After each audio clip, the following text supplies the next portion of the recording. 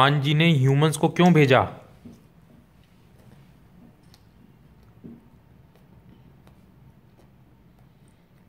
Dinosaurs को जब भगवान जी ने मार दिया खत्म कर दिया तो उसके बाद भगवान जी ने ह्यूमंस को क्यों भेजा? क्या ज़रूरत थी ह्यूमंस की? और भी तो एनिमल्स थे इतने सारे।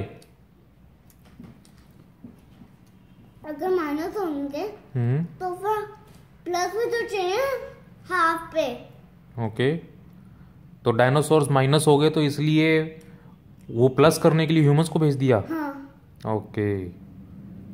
और जब ह्यूमंस के पास मनी नहीं थी तो वो कैसे खाना बाय करते थे अपना? ट्रेडर। ट्रेड करके? कैसे? क्या चीज़ ट्रेड करते थे वो? कुछ भी सब कुछ। अच्छा। ट्रेडिंग का क्या मतलब होता है? बार्बिंग। बार्टर। Barter system. और बीटर। नहीं बाटर। बाटर। हम्म। और बीटर में तो होता है कुछ।